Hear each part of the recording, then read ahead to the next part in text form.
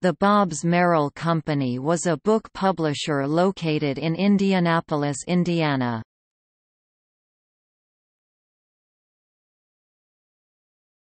Topic: Company history. The company began in 1850 October 3 when Samuel Merrill bought an Indianapolis bookstore and entered the publishing business. After his death in 1855, his son, Samuel Merrill Jr. continued the business. Soon after the Civil War the business became Merrill, Meigs, and Company, and in 1883 the name changed again to the Bowen Merrill Company. In 1903 the name became the Bobbs Merrill Company, after longtime director, William Conrad Bobbs. From 1899 through 1909, the company published 16 novels whose sales placed each of them among the nation's top 10 best-selling books of the year for one or more years. The company was plaintiff in Bobbs Merrill Co. v.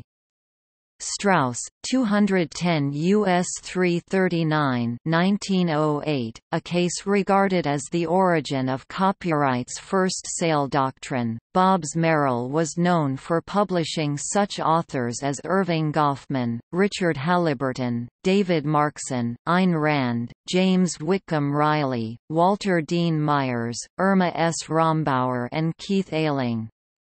Of note, Keith Ayling wrote the story of Old Leatherneck of the Flying Tigers 1945. Bobbs Merrill also published the early works of fantasy writer L. Frank Baum. In 1949, Bobbs Merrill commissioned artist Evelyn Copelman to illustrate a new edition of The Wonderful Wizard of Oz, reprinted as The Wizard of Oz and The New Wizard of Oz.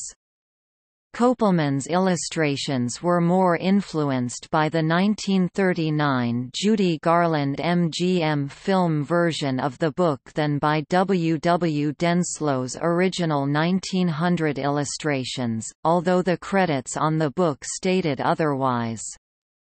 The year that Copelman's illustrations first appeared, 1949, was also the year of the film's first re-release, Bobbs Merrill was also responsible for publishing the official records of the state of Indiana and texts in the history of philosophy.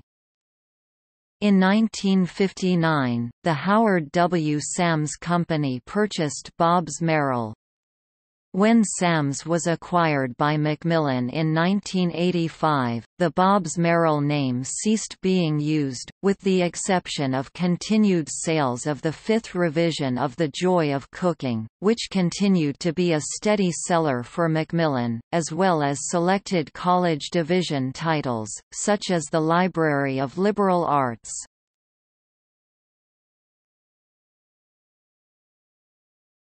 Topic See also. Angus Cameron publisher. Topic. Footnotes.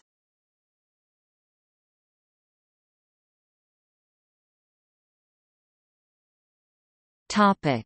Further reading